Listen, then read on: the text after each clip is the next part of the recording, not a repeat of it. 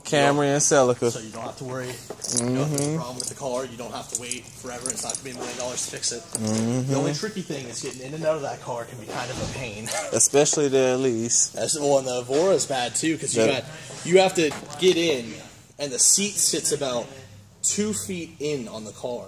So you have like one feet or a one foot barrier you have to climb over to get in, which Wow. which isn't bad. It's not a, it's not a problem. You can do it, but it's really hard to do it without looking kind of kind of stupid climbing into the mm-hmm, car. you know? Mm-hmm, mm-hmm, it's And like with the Ferraris, you can kind of drop into the seat. right? Exactly. Not, yeah. not with a Lotus. You gotta you gotta slide into the seat.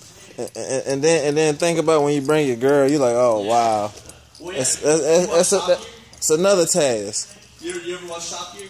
Mm-hmm. So on the early ones, they did the uh, did the Honda S2000 against the BMW Z1 and something else, and they had these girls like, Yeah. all right, you're taking your girlfriend out, and they're like, she's got a skirt on, have her get into the car. And it shows them trying to get into the cars that have the big gap, like the like the Evora does. Yeah. and it's impossible. I mean, they're Yeah, they're sliding yeah, around, they're trying to tuck themselves. Like, dude, it's Mm-hmm. You're right.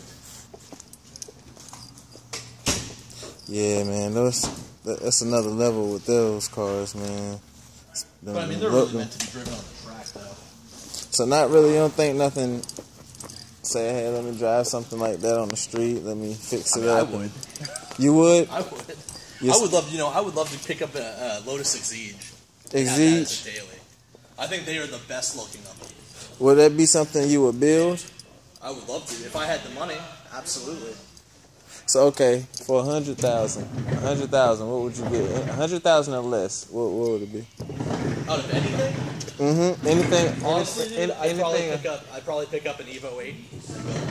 Okay. You know, Okay. I've had, I've done the SRT4. I've Mm-hmm. done Subarus. Uh, I toyed with one Evo 8, and I had so much fun with it because it was mechanical cam timing. What about the ten? I don't. I'd want an 8. Because it's really- I would- faster. The would- eights are faster. I would want an eight because there's no there's no electronic cam timing, so you can set your timing and it's there. You don't have to fight the computer as much to make power. You Mm-hmm. can slap a big turbo. It's like the, it's like the SRT4. You slap a turbo on it, you set your cam timing, put some cams in it, and you have some fun.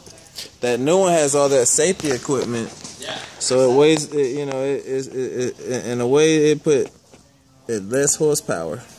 Yeah, I, I would I would Hey, that's why the RS Focus is like really really hurting the STI now.